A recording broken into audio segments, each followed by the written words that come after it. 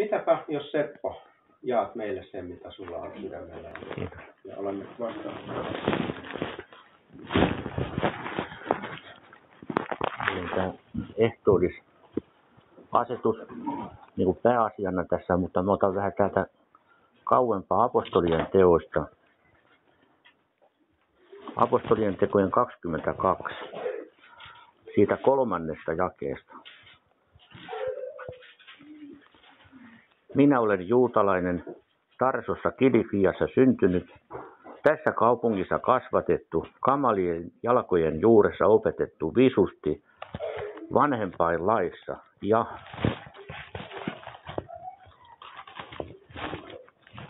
Jumalan puolesta kiivas, niin kuin tekin kaikki olette tänä päivänä. Ja olen tätä tietä vainonut kuolemaan asti, sitoin ja antain ylön vankiuteen sekä miehiä että vaimoja. Niin myös ylimmäinen pappi, niin kuin myös ylimmäinen pappi ja koko vanhempaan joukko minun todistajani ovat, joita minä olin, otin lähetyskirjat veljeen tykö ja vaelsin Damaskuun, että minä ne, jotka siellä ovat, olisin sidottuna tuonut Jerusalemiin rangaistavaksi. Niin tämä on tota, tämä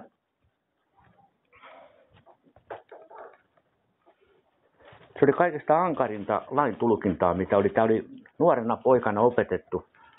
Ja se oli todella syvästi tähän asiaan. Ja ne tiukat rangaistukset ja se oikein iloitsi, että nyt hän saa oikein Jumalan palvelus tehdä. Hänellä oli lain tuntemus ja tiesi kaikki kirjoitukset ihan varmasti läpi kutaen ja tiesi, että mitä se tarkoittaa. Ja todennäköisesti tämä Saul, kun Jeesustakin vietiin ristille ja oli näitä asioita, koska hän oli näin korkeassa asemassa, oli siellä antamassa neuvoja tai vähintään kuuntelemassa, että nyt päästään eroon tästä villityksestä, Jeesuksesta, jota sanovat tois, että sitä tietä kulkevat. Todennäköisesti. Mutta Saul tai toi Stefanus, mikä kivitettiin, niin hän oli siinä vaatteita pitämässä ja oli tosi, tosi mielissänsä. Nyt päästiin tästäkin, joka oli Herran voideltu. Jeesus itse oli voidellut hänet siihen tehtäväänsä. Mutta niin ne vaan kivitti ja, ja siitä se sai vauhtia ja pontta, että nyt lähdetään eteenpäin tätä hommaa viemään. Ja sitten kuudes jäi. Niin tapahtui minun matkassa ollessani lähestyissäni Damaskua puolipäivän aikaan, että suuri kirkkaus valtasi äkisti taivaasta minun ympäri. Ja minä lankesin maahan ja kuulin äänen minulle sanovan sanat, Saul, Saul, miksi vainoat minua? Ja minä vastasin, kuka sinä olet, Herra? Hän sanoi minulle, minä olen Jeesus Nasaretista, jota sinä vainoat. Tässä alkoi Saulille semmoinen kääntymyksen tila, jäi miettiin, että, että minä, joka tiedän kaikki nämä lait ja kirjoitukset ja Jumalan sanan läpitte, multa puuttuu jotain. Hän meni itteensä siinä ja nähtävästi se meni sinne Damaskuun tai johonkin sinne päin meni ja sitten Ananias, se ei ole nähtävästi se Ananias, mikä oli Ananias ja Savira, niin laski kätensä päälle ja häneltä laski suomukset lähti. Ja siitä hän lähti niin kuin eri mieheksi ja silloin oli kasvamista siitä eteenpäin. Ja sitten tähän ehtoolliseen, kun ajattelee tätä ehtoollista, niin Paavalille se tuli se ehtoollis-sana. Sanottiin, että minä olen sen Herralta saanut, minkä minä teille ilmoitan. Ja sitten kun ajattelee sitä, opetuslapsethan oli silloin pääsiäisaterialla ennen, kun Jeesus ristiin naulittiin, niin se oli pääsiäisateria. Mutta siinä Jeesus sanoi minun vereni ja minun lihani. Se on niin kuin kovaa tekstiä niille. Se ei mennyt oikein ihan läpi se homma, että mitä tämä tarkoittaa. Siinä oli, siinä oli niin kuin, että kun tämä on pääsiäisateria, ja monta kertaa erot, ei eroteta sitä, että mikä on pääsiäisateria. Se on kerran vuodessa tämä pääsiäinen, mutta Paavali antaa ymmärtää, että no niin ehtoollinen on muistojuhla, Jeesuksen muistoa. että me muistetaan Jeesusta, mutta se oli samaan aikaan pääsiäinen, koska kirjoitettu oli pääsiäisen, oli Egyptin lähdön muistoksi ja laitettiin verellä ja siinä oli määrätty henkilömäärä kuudesta 12 ja muuta näitä. Mutta tämä on niin kuin vietettävä silloin, kun meille sopii ehtoollista. Että se ei ole niin kuin kellonaikaan eikä vuoden aikaa, kerran vuodessa. Monta kertaa moni sekoittaa sitä, että pitäisi olla niin kuin jotkut ö, ruokapidot tai tällainen. Ehtoollinen ei ole sitä, vaan se on muisto Jeesukseen, Kristukseen. Todennäköisesti nyt jos otetaan tämä ehtoollisasetus täältä, se on se ensimmäinen korintolaisille 11.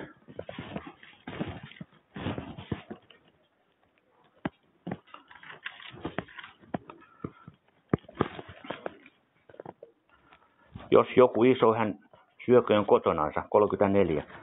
Eli todennäköisesti siitä, kun ihmisten kodeissa oltiin, niin otettiin siitä ateriasta leipää ja viiniä ja tehtiin erikseen muistoateria, että tehdään näin. Otetaan ja muistellaan Jeesuksen kuolemaa ja mitä se Jeesuksen kuolema meille merkitsee. Se merkitsee meille elämää ja ylösnousemusta.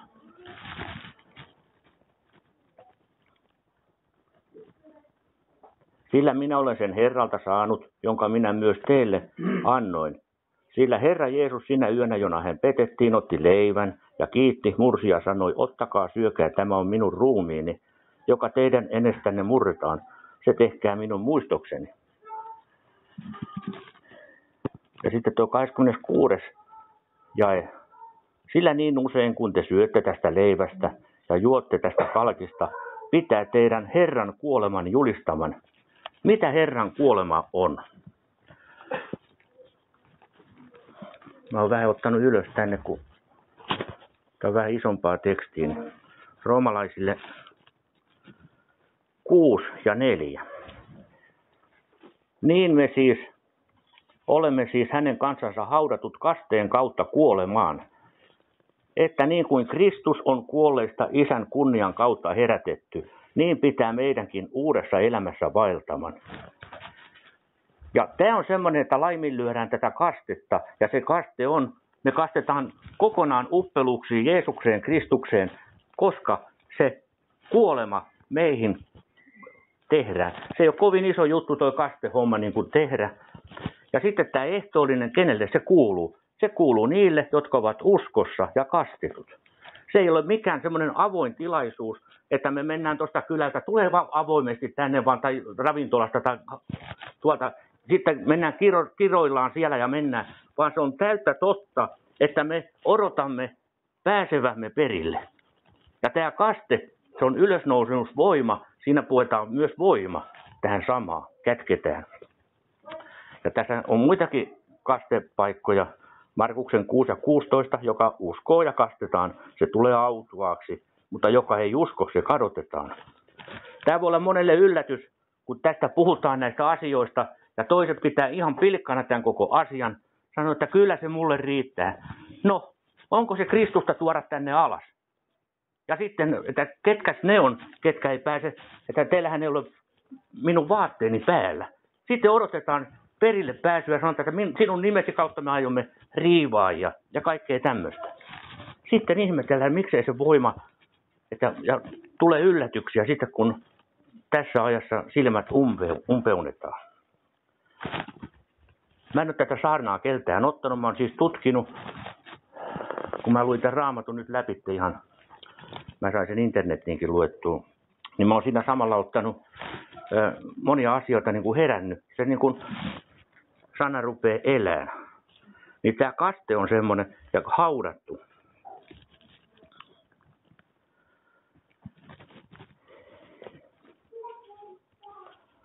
Sitten Efesolaisille 4 ja 9.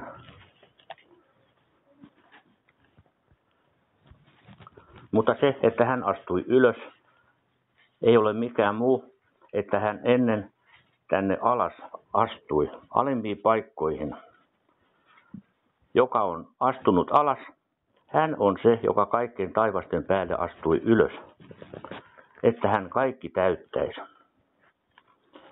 Ja on pannut muutamat apostoleiksi, muutamat profeetoiksi, muutamat evankelistoiksi, muutamat paimeniksi ja opettajiksi. Pyhän täydellisyyteen, palveluksen työhön, Kristuksen ruumeen rakennukseen. Eli tässä on ne seurakunnan, viisi seurakunnan virkaa. Mä oon sen niin kuin pienet lapsetkin sormista. Niin tää peukalo on, kato semmonen, mä Tää on apostoli. Ja se niin ottaa kiinni kaikkeen näihin muihin.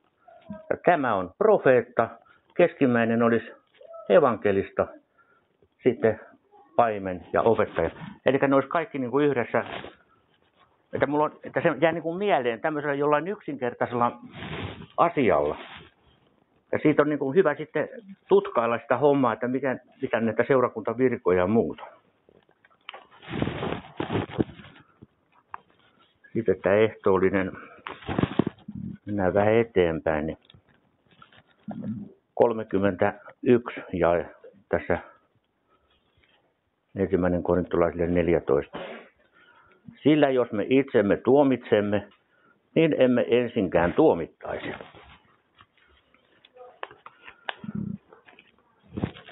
Yleensä kun mä menen ehtoolliselle, mä tuomitsen itseni.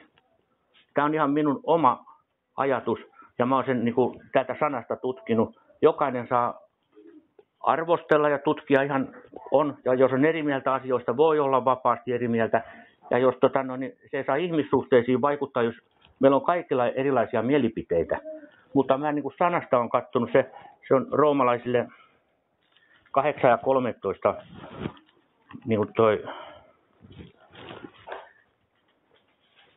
Sillä jos te lihan jälkeen elätte, niin teidän pitää kuoleman, mutta jos lihan työt hengen kautta kuoletatte, niin te saatte elää. Mä uskon, että Herra on mulle avannut tämän asian jo aikaa aikaa, kymmeniä vuosia sitten, just tämä roomalaisille kanssa, että on aika tärkeä siinä. Henki ja liha taistelee ja me itse tiedämme, jokainen tietää meistä, että mikä on henki ja mikä on liha. Ja se on aina sitä taistelua.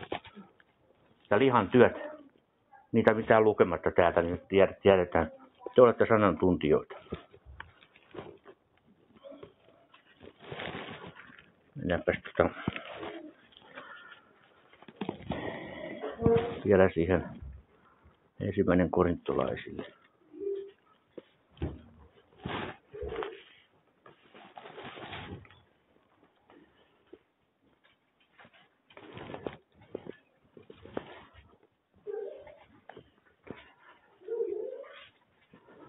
Siinä oli kuitenkin sitä voimasta.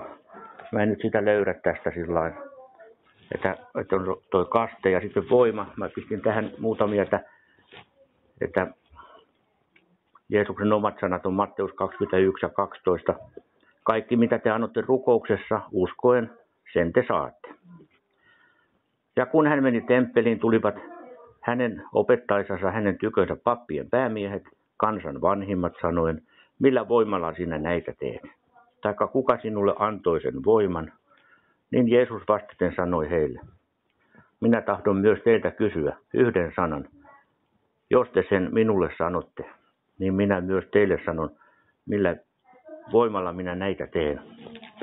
Eli jos Jumalan töitä tehdään ja itse kukin me ollaan tuolta ihmisten parissa, niin sieltä tulee vastalauseita. Mitä säkin luulet olevas? Eihän, että että sulla ei ole niin mitään semmoista. Mutta mä voisin kertoa yhden esimerkin. Joskus puhunut evankeliumia tuolla, niin se Jumalan voitelu tulee niin voimakkaasti, että oli kerrankin semmoinen, juttelin, sano älä älä puhu enempää. Mä otan mikä? Sano, että ei, ei, ei, ei pysty ottamaan, tulee semmoinen pyhyyden tunne. Tai semmoinen, ei se sanonut sillä, mutta mä koin sen, että se oli pyhyyden tunnetta. Mä jos kohta vähän ajan päästä puhuta, no puhu pikkasen sitten. Mä taas puhuin niitä sanoja, mitä mä koin, että tuoda. Se, se niin kuin murtaa tuota sydäntä. Ja sydän on se, minne puhutaan. Mutta jos puhutaan semmoisia, jotka ei ole uudesti syntyneet ja lähdetään evankeliumia viemään tai tehdä niin kuin käännynnäisiä, anteeksi, käännynnäisiä. Niin siinä käy sillä kalapaten, että sieltä saadaan nyrkkiä, tappeluita. Ei Herra ole silloin mukana. Te raamatusta muistatte, mikä oli, että Paavalin minä tunnen, mutta keitä sitten ole, tai mikä se oli, missä paikkaa se oli. Tämä on meidän ihan konkreettisesti ihan tässä lähiseudullakin tapahtunut tämmöistä. Ei viitti sanoa nimiä. Meidän se on hyvin vakavaa lähteä omissa voimissa tänne, niin kuin, ai niin tämä voimahomma vielä, otetaan sitä voimaa. Ja ensimmäinen korintolaisille 2 ja 4. Minun puheeni ja saarnani ei ollut kaunistetuissa sanoista ihmisten viisauden jälkeen, mutta hengen ja voiman osoituksessa. Nyt Paavali oli oppinut. Ei se ollut enää se sama Sauli, vaan se oli Jumalan tahtoa täynnä ja se halusi aina kaikkein parasta seurakuntalaisille. Mutta se rakkaus ei ollut sitä, että se kävi vain päätä silittelemässä, hyvin menee kaikki, vaan se toi totuuden sanat, niin kuin ne pitää Jumalalta tulla ne sanat. Jeesuksen sanoja, mitä hän oli Jumalalta saanut. Sitten Johanneksen 1 ja 12. Niille, jotka hänen ottivat vastaan, antoi hän voiman Jumalan lapsiksi tulla.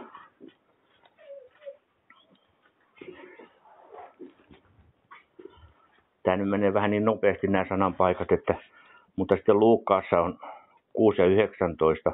Kaikki kansa pyysi häneen ruveta, sillä voima läksi hänestä ja paransi kaikki. Sitten roomalaisille 1 ja 16.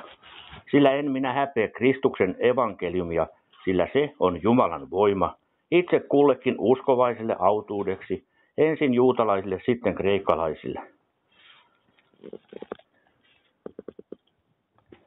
Se evankeliumi, mikä on, niin me otetaan tätä Jumalan sanaa ja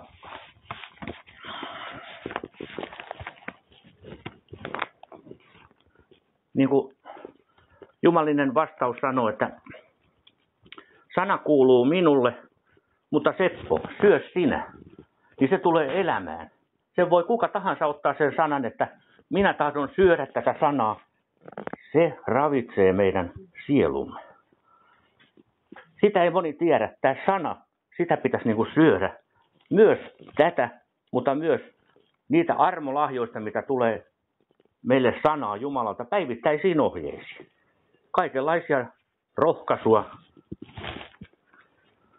Kyllä mullakin olisi paljon ihmisille rohkaista ihmisiä, mutta ei tule niin rohkaistu. Uskovaisia tarvitsisi paljon rohkaista. Esimerkiksi Jenni ja Pasi vei meidän Suvin kasteelle. Mä oon ollut tosi kiitollinen. Te teitte tosi suuren työn. Ja se on tänä päivänä, he ovat seura, on seurakunnan yhteydessä ja ja on niin kuin lähellä. Ei ole, katos, te tiedätte, kun on omia lapsia. Se tarvitsee siinä vaiheessa, kun lapset haluaa, että he haluaisivat kasteelle. Ei kaikki ole semmoisia, että ne laittaa valkoisen puvun päälle ja lähtee jokin isoihin saleihin. On hiljaisia ihmisiä. Se voi kastaa kesämökin rannalla, kun hoitaa sen, että tekee kastitodistuksen. Monta kertaa rukoillaan lasten ja lastenlapsien puolesta Herra pelasta. Se on käytännön teko, että saa sen. Sitten mulla oli vielä, mulla on kaksi tyttöä, vanhempi tyttö. Se oli jo likelle 30. Mä ajattelin, että kun se nuorena olisi halunnut kastella, mulla oli taakka täällä sydämessä. Te ette usko, millainen taakka on lapsista. Niin, uskotte. Mä sanoin, että lähdetäänkö Israeliin lähde kaveriksi. Niin. Ja sitten Suvi lähti mukaan. Joo, hän voi.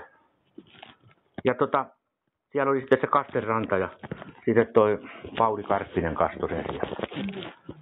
Mulle tuli niin hyvä mieli ja nyt on seurakunta yhteydessä Toijalassa vapaa kirkossa. Ei kun vapaa seurakunta. Siis tämä niinku, mä puhun nyt isän näkökulmasta lapsiin nähden. Se on todella hieno asia.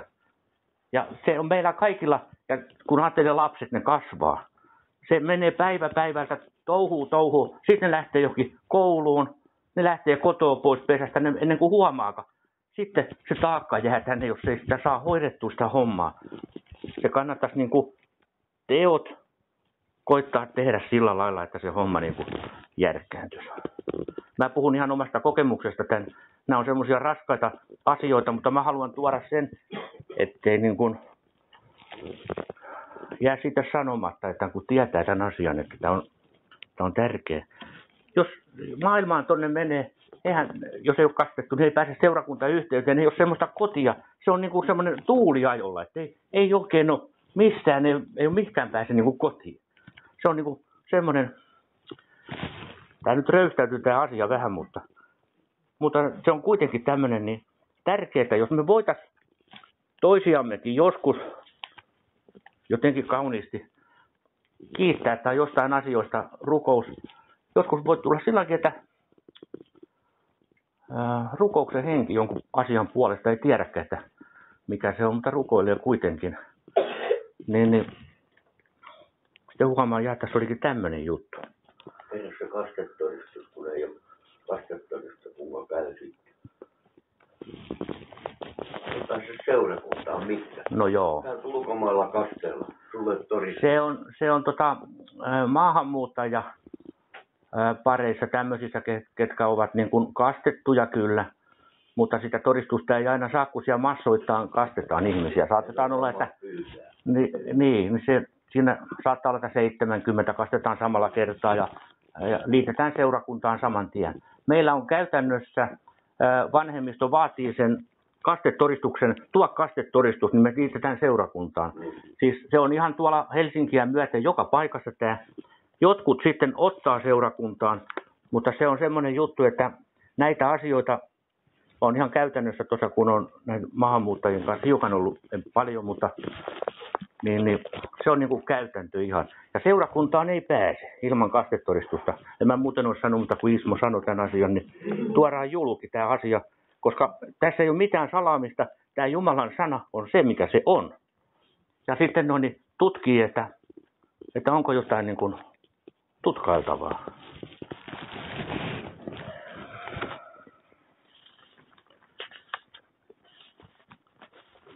Sitten, että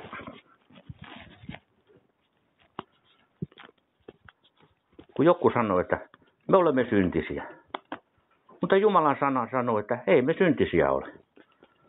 Koska sitä varten Jumalan poika ilmestyi, että hän perkeleen työt tyhjäksi tekisi. Jokainen, joka Jumalasta syntynyt on, ei se syntiä tee, sillä hänen siemenensä pysyy hänessä. Ja ei taida syntiä tehdä, sillä hän on Jumalasta syntynyt. Lihan teot, ne on kyllä julkiset. Mutta se, että no niin, me olemme puhtaat, meillä ei ole mitään syntiä. Jumalan sana ilmoittaa sen täällä Johanneksen 3 ja 8. Ensimmäinen Johanneksen 3 ja 8, jos joku haluaa tietää. Me olemme puhtaat. Ja sitä varten Jumalan poika ilmestyi, että hän perkeleen työt särkisi. Semmoinen esimerkki voisi olla esimerkiksi aviopari tai sanotaan joku tällainen kauheat riidat on esimerkiksi. Ei siinä ole, minulla ei ole syyttämistä ketään kohtaan, enkä minä syytä itseäni. Mutta perkele teettää niitä asioita myös uskovaisille, koska ää, toi Paavali, olihan silläkin niin pistin lihassa. Siis on kaikenlaisia tämmöisiä asioita, että ymmärtää tämä asia oikein, että, että mikä meillä on, ketä vastaan meillä on taistelu. Meillä on taistelu ei ole lihaa ja verta vastaan, vaan taivaan avaruudessa olevia henkivaltoja vastaan. Kerran meidät tästä lunastetaan tästä pajavuuden tilasta ja meidän ruumiimme muutetaan kirkastettuun ruumiiseen. Eikö se tässä ollut? Saiko minä levättyä?